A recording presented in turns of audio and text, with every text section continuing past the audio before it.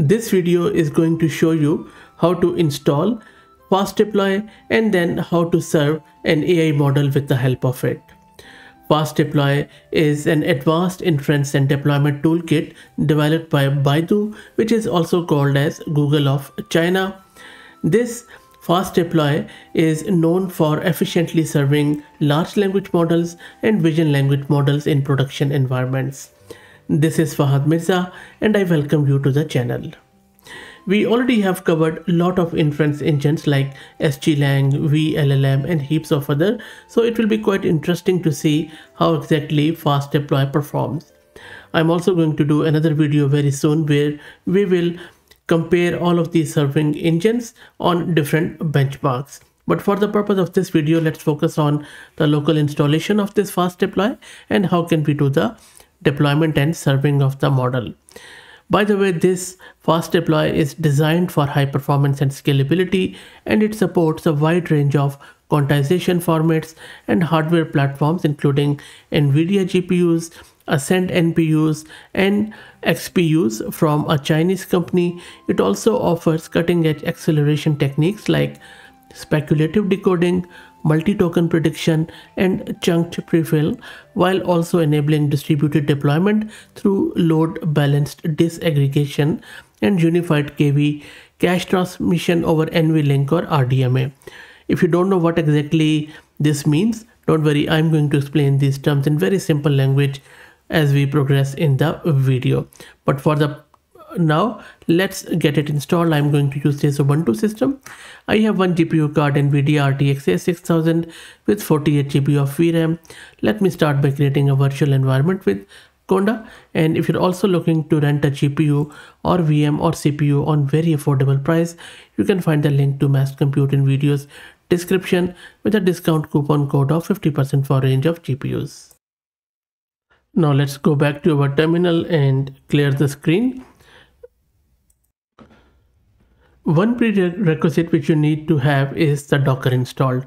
I have this recent version of Docker installed. If you don't have it, and if you don't know how to install it, just search my channel.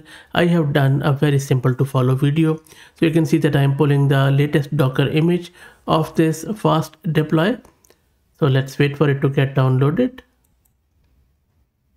And it is going to download all of these layers and then it is going to um, set it up. So let's wait for it. While that happens, let me also introduce you to the sponsors of the video who are Camel AI. Camel is an open source community focused on building multi-agent infrastructures for finding the scaling laws with applications in data generation, task automation, and world simulation. And one thing I can tell you right off the bat that it is quite a big serving engine by the way. Anyway let's wait for it to get downloaded. Meanwhile let me uh, talk a bit more about the concepts which i mentioned earlier around the key features. So first up i mentioned speculative decoding. So i'll try to explain it in a very simple word. So i don't i don't expect you to be a machine learning guru. So speculative decoding is like a smart guess and check system for speeding up text generation so what happens is the model predicts several words ahead speculatively, then checks if those guesses are correct. If they are, it saves time instead of generating one word at a time. If not, well, you know. And then we have multi-token prediction or MTP. So normally model predicts one token at a time MTP allows the model to predict multiple tokens in one go, like writing a whole phrase instead of just one word that primarily makes inference faster. Chunked prefill is quite an interesting um, concept. So before generating text, the model needs to process the input prompt or prefill. For long prompts, this can be slow. Chunked prefill breaks the input into smaller parts and processes them in parallel or more efficiently. That speeds up the preparation step. So very, very important step by the way. Now load balanced disaggregation means that in large scale setups, models model tasks like attention, decoding and all that stuff can be split across multiple nodes. Disaggregation means sep separating these parts and running them on different servers. Load balancing ensures each server gets just the right amount of work, not too much, not too little, and that of course improves performance and stability. It also has this something called as unified KV cache transmission over NVLink and RDMA as I mentioned earlier. So what happens is that when generating long responses, the model stores memory or key value cache to avoid redoing calculation. Fast deploy makes this memory shareable across GPU or servers. It uses NVLink, which is a very super fast GPU to GPU connection, or it could be RDMA, which is a fast server to server memory access to move that memory quickly, keeping generation smooth and fast. But this is a very active area of research because uh, memory, you know, this movement of data is a sin when it comes to GPU computing because GPUs are fast, matrix multiplication is quite fast, but when you move data, that is you know slow as compared to that matrix multiplication. So this is something everyone is working very hard to uh, try out. But the thing is that there are physical limitations, and a fun fact is that since 2000, I would say the advancements in this memory technology has slowed down but i digress. Anyway let's go back to our terminal and see what is happening. It is still downloading stuff so let's wait. And everything is now downloaded and docker image is now installed on our local system. You can also check it out. So this is what this docker image looks like and now we can test the installation. But before that let's quickly install this Paddle Paddle GPU and OpenAI. Through this we are going to check it out. And Paddle Paddle is simply a deep learning framework from China. Okay so in order to test it first let's run that docker image and we will instantiate it. And we have entered into that docker image at the moment. And now you can test it by running the following commands which are going to import the Paddle Paddle and then it is going to uh, check the just-in-time compiler and all that stuff. Okay sorry. Uh, i just needed to run this python. I needed to run these commands into this python interpreter. And you see that it is imported. Yep all good. That's it. You see everything looks good now. As you know Paddle Paddle is imported it is running it, it is also it says that Paddle Paddle works well on one gpu and it is installed successfully and also the fast deploy is running as you can see here.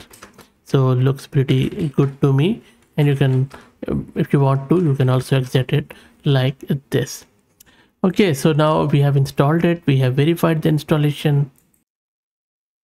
And now for the online serving you can simply uh, run this. The python 3 fast deploy and we are serving that 0.3 billion ERNIE 4.5 model which is here which was released just yesterday few hours ago in fact and we already have installed it locally as you can see here and we have tested it out. There is another vlm version and i will be posting that video very very soon. So this ernie 4.5 is a latest model from baidu which we are going to serve with the help of this fast deploy inference engine here as you can see. And you can see that the first time when you run it it is going to download the model as it is not present at the moment. It's a very small model. So let's wait for it. And there you go. Now our fast deploy is running within that container and it is serving the model at this localhost at port 8180 and if you want to check the VRAM consumption you can also check it with this NVIDIA command and it is using close to 25 gig of VRAM for this model while it gets served. Okay. And then now in order to verify, you can run this health um, API endpoint. There you go. So it says that, so it's a HTTP 200, which means that everything looks good. And if you want, you can use this curl command with the chat completions API, which is OpenAI compatible API to ask it uh, prompt. There you go. So it has given you a joke in chinese. I can only read this emoji. I'm not testing the model here. We are just testing the fast deploy which you can see is working fine and you can use the same functionality in your python script or any other script which can access this uh, local endpoint. You see that we are just giving it this base url and then if you are serving multiple models you can even specify your model here. And because it's a local one you don't have to give any api key. And again i'm asking it to write a joke now in english. And then it's simple openai compatible syntax. So when you run this it is going to access that and you see that it has given you uh, this here. And you can see that it is also giving you some of the instrumentation behind the scene what is happening at the server here. So that's it. This was how easy it is to serve your model with fast deploy. And as i said i'm also going to create a comparison video around this tool and various others if you enjoyed the content, please like the video and share it. And if you haven't already subscribed, please do so as it helps a lot. Thank you for watching.